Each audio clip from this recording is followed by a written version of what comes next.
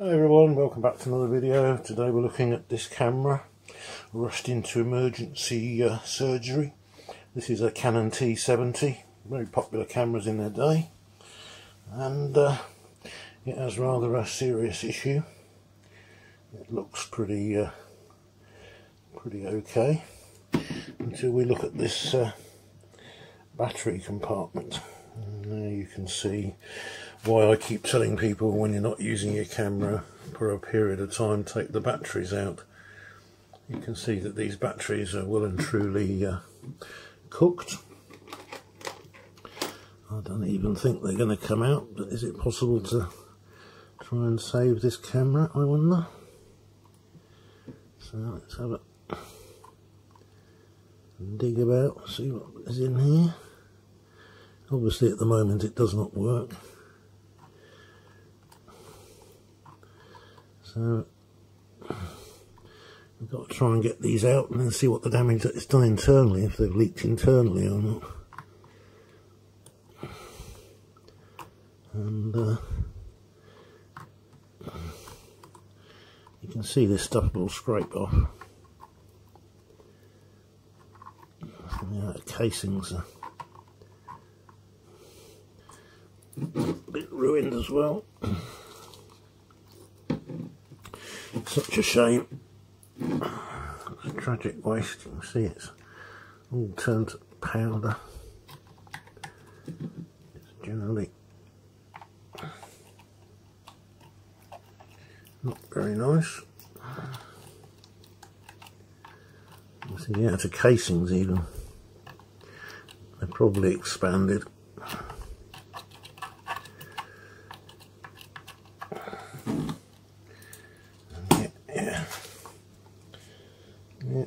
very good at all.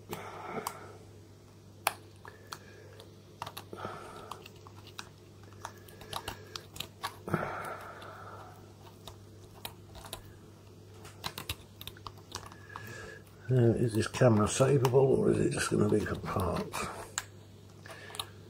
Bit of a shame. Okay. To get most of it off, we could do with our cardboard frame to hold the camera up side down.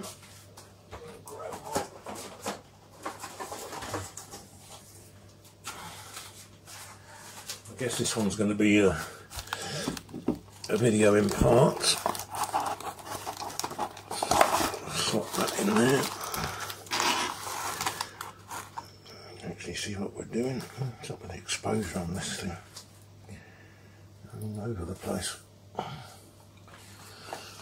Right, our good old friend cotton buds is going to be needed.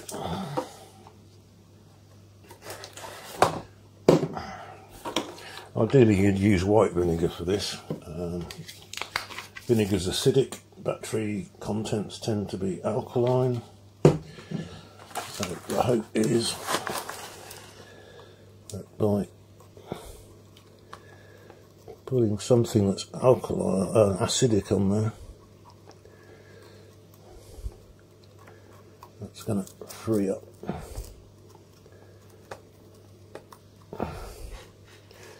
Clean off most of this gunk. Nasty. The same sort of vinegar you put on your chips. I've used white vinegar, this is all I've got at the moment, is malted vinegar. So see the way it foams is the acidity of the vinegar reacting with the alkalinity of the, the battery content.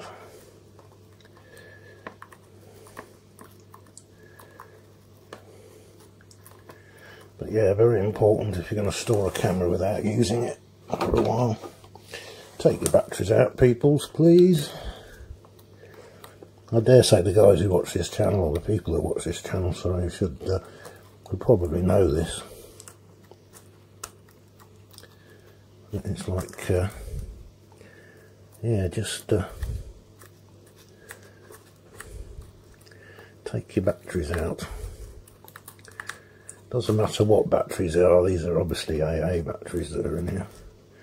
But any sort of battery take it out of the camera if you plan on storing it. And these batteries have got a hole in the top of them, I would guess that they're probably stuck right the way in there.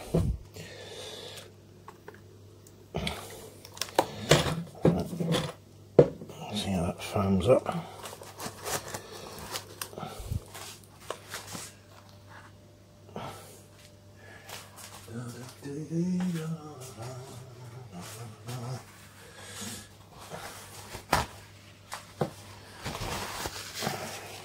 Could put gloves on if you wanted to. Um, don't really.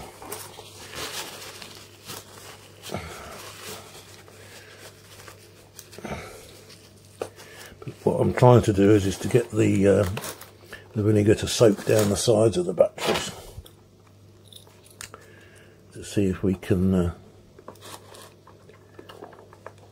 do something to extricate them from the camera. Failing that, it's going to be a case of trying to destroy the batteries a bit at a time and get them out. Even that may not work.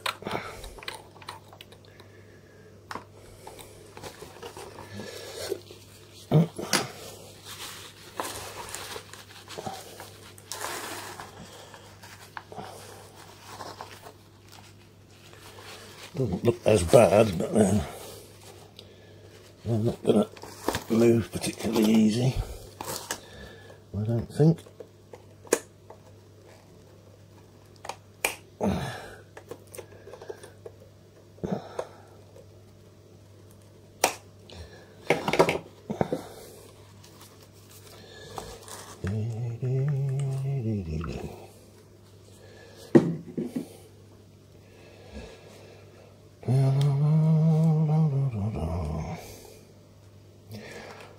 I'm not really concerned about the vinegar damaging the interior of the camera because it's basically scrap anyway, isn't it? So.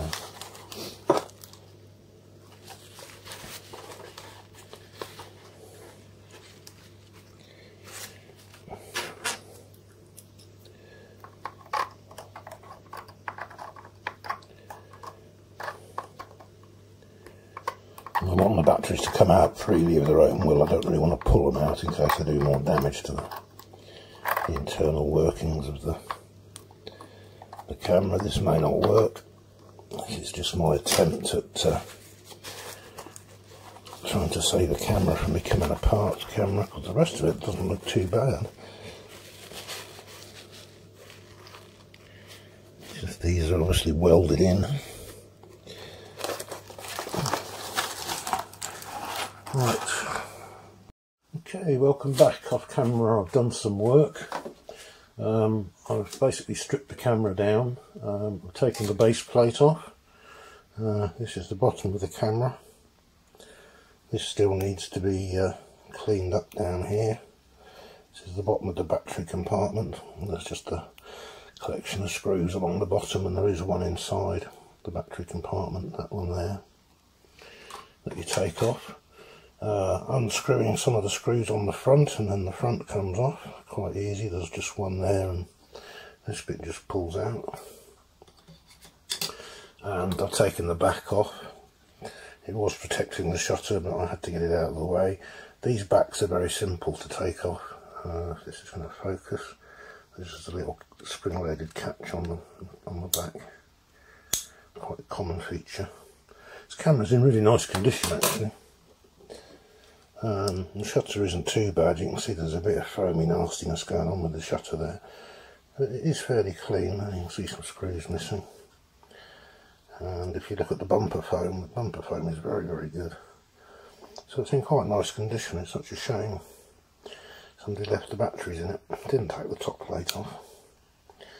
So there you can see a naked T70 Right, if you're a squeamish disposition, I advise you to look away now because uh, the only way to get the batteries out was to take my soldering iron with a, uh, a rather large sacrificial bit. I can get into the camera picture, there you go. With a rather large bit on it and uh, heat my way through. I don't have a Dremel, a Dremel would have been the better way of doing it, and I don't advise doing this yourself but this is how I did it. Um, I melted all this plastic away, and all this plastic away to find out how far up the corrosion had gone. And luckily, the corrosion, the camera must have been stored like that. The corrosion was all at the bottom. At the top, although you can't see it, if I get the torch maybe that would help. Ooh.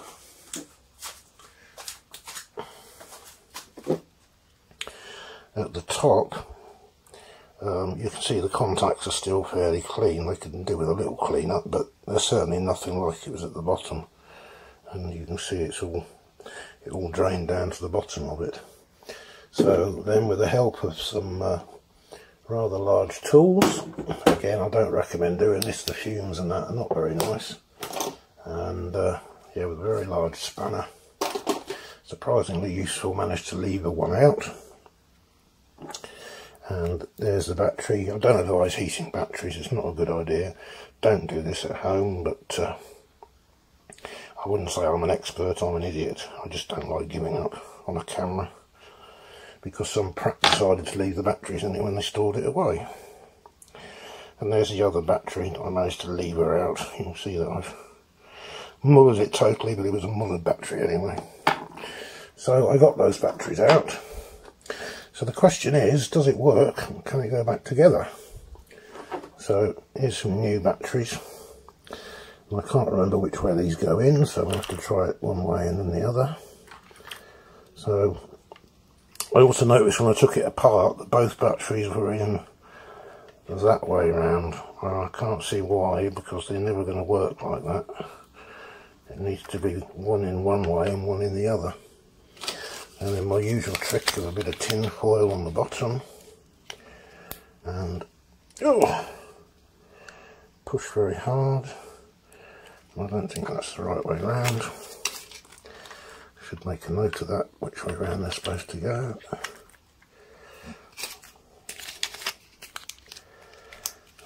Push very hard. Oh, still nothing that's going on. Not ideal to use a Mr. Kipling's cake thing, but whatever's at hand.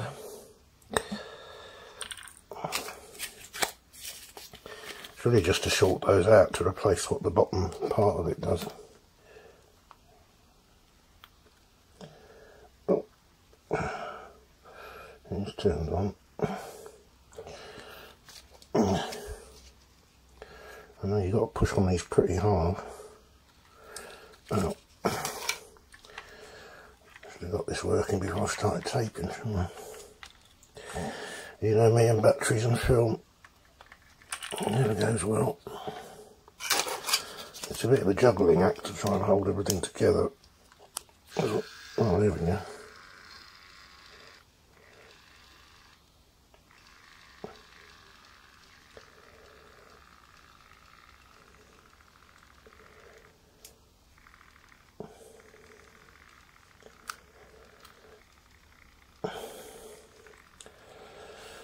It was trying to load it. Oh, there we go. Battery check. Oh, see, it's got life in it. There's the battery check. Don't know if it'll let me take a picture. Probably not because it says there's no film in it. So. But yeah, there is life in it. The LCD doesn't look too bad. So the next thing is obviously to reassemble. Shove a test film in there and uh,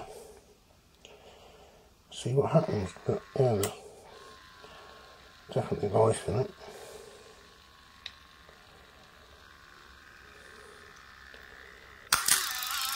There we go. So there's definitely life in it, but as you can see the shutter's going to need cleaning. It's going to have one of them squeaky shutter problems. Common with this series of cameras, that shutter blade doesn't look too clever either. So yeah, still more work to do, but yeah, at least it's not for parts anymore. We can uh, hopefully get some use out of it. There you go, that's today's film. Like I said, if you're squeamish, don't look. Not the cleanest of jobs, I've got to admit. But that part there is going to be covered. Um, it's got this sort of flexi grip that uh, fits over, so you're not actually going to see the butchery underneath. I will smooth it off a little bit more and tidy it up make it look a bit more presentable but yeah this cover this cover goes over there and hides the damage. It's not a camera for selling on or anything it's just a camera for the collection so uh, hopefully by the time I finish with it it'll, it'll look just like a normal T70 but it'll be a, a worker. There you go there's today's exploits for you. Hope you enjoyed. Like I say don't try any of this at home it's uh, use a Dremel or something but um, I like the T70 cameras and I wasn't going to let this one die because it looks as though it was in quite good condition apart from the usual shutter problems. But yeah we can deal with that. And uh, yeah I hope you enjoyed. Thanks for watching. Comment share subscribe all that usual sort of stuff. And uh, I look forward to seeing you in the next one